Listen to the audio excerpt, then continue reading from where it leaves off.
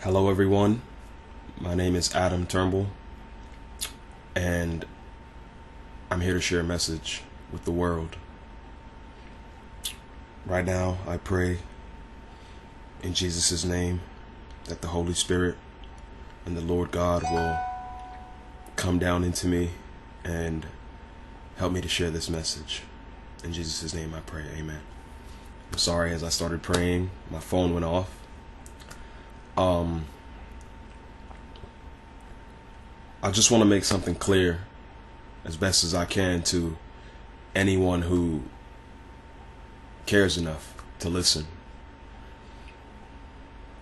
Jesus is coming back, but like right now. Um, we don't have time like we think we have time. Um, there is no easy way out. The Lord has laid it heavy on my heart that I have to share this with people, with anybody who's listening. Um, I'm going to try to put this on Facebook, YouTube, anywhere, because if even one soul pays attention, then that's what really matters.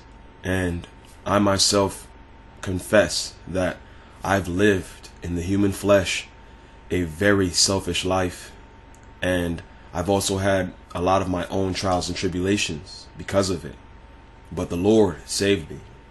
The Lord is the one that was in charge. The Lord is the one that has led me up out of that. And the Lord is the one that I'm continuing to seek and desire because if I don't, then I know where I'll end up. I know where the soul behind this body will end up. And I've seen it. I've seen it. And, you know, there's going to be people who are going to say, oh, well, you're this and this and this. Well, guess what? I don't care.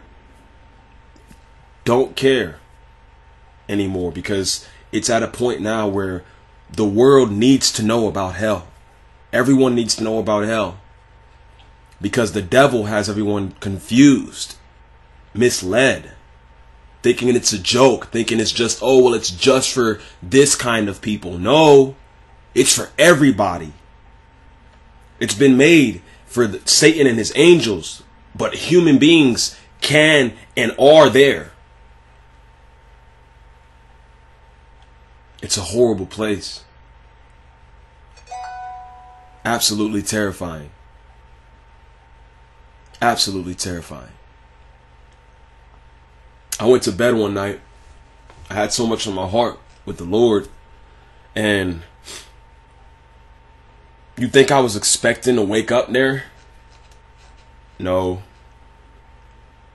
I went to bed thinking, like always, you know, well, God got me and this is life and I'm still here. So, you know, He loves me enough to continue helping me to work and live this world. But the Lord was knocking on my heart. Like, no, Adam, we're out of time.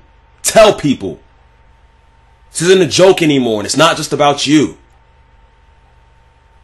This is about the, the, the children of God. I was brought to this earth for a purpose, but not for my purpose. Not for the things that I chased while I was in the world, while I was in the flesh, while I was unaware of my calling from the Lord, you know? All of those things are dead ends dead ends. Alcohol, dead end. Marijuana, dead end. Fornication, premarital sex, dead end. Lusting after women and, and money and cars and this and that and oh we turn up, yeah. Oh yeah. There's a place in hell for people who just want to turn up. Seen it. The scariest thing about being in hell is knowing that you're not getting out.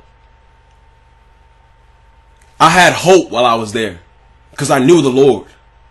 And I felt that connection to God during that experience. When I was in that blackness, falling down into that pit, I felt God's presence. I knew that this was an experience that was happening, but it was real. It was real. I, I, I screamed the name of Jesus. Screamed it. I'm talking about, I screamed like a little girl. Yes. And I'll say that to this camera, to anyone who thinks that's a joke. Grown man, you cry like a little baby down there. I, I promise you, you will. You do. You don't want to go there. You don't want to go there. The worst things that you could ever imagine do not even compare this much.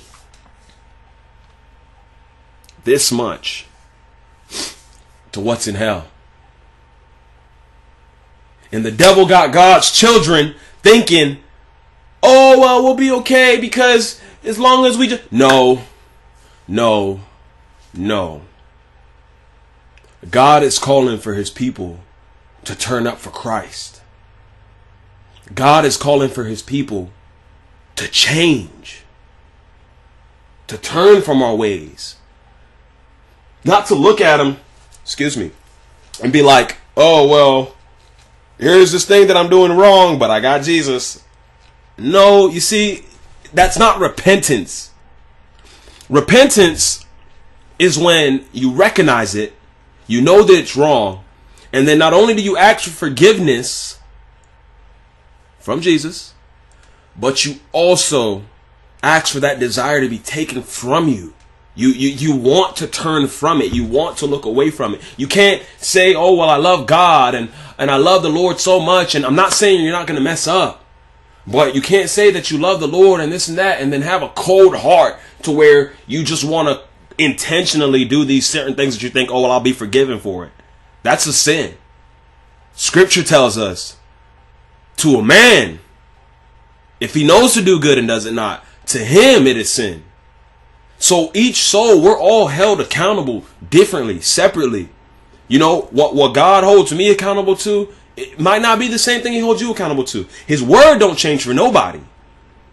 His word don't change for nobody. But accountability, it's a personal thing. You know who God made you to be. You know. You know what you're capable of. I know what I'm capable of. He knows what you're capable of. He knows what I'm capable of. He knows what she's capable of. Him. Everybody's held differently. That's why that when they say you die alone, it is true. You you you do die alone. You stand before God. Not your boyfriend, not your girlfriend, not your fiance, not your husband even. It sounds kind of cold and bad, but you have to understand I'm talking about soul wise. The soul is individual. You have to answer to God. You have to answer to Jesus. If they mess up, shame on them. If you mess up, shame on you. And I seen hell. I seen it. And you know what? I, I thoroughly believe in my heart that not only am I supposed to share this testimony and continue to, to go into this, I guess, you know, wherever he leads me, but it means that I can still go. As crazy as that sounds, I, I, I know the Lord Jesus Christ. He's revealed himself to me. I, I don't have to get into that. Trust me when I say I know the Lord. But if I don't stay on a on a certain path, I have to answer for that. We all have to answer if we don't stay on a certain path. Yes, you're human, you're a human being. No, nobody is saying you're literally going to be perfect, but you are perfect. You're perfectly made by God. You can resist anything in the name of Jesus Christ if you're concerned about this person or that person or what they might do or what they won't do or how you feel or this and that, then you're putting them before God. You're putting them before God. You're putting yourself before God.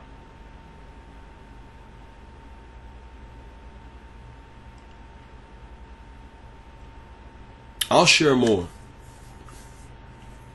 But for right now, I'm about to go on 10 minutes and I just want to make this exactly 10. That way it's not too much. So anybody who's seen this, just give your Lord to Christ. Give your Lord to, give it, give your life to the Lord to, to Christ Jesus. And, and I thank the Lord for this opportunity. God bless.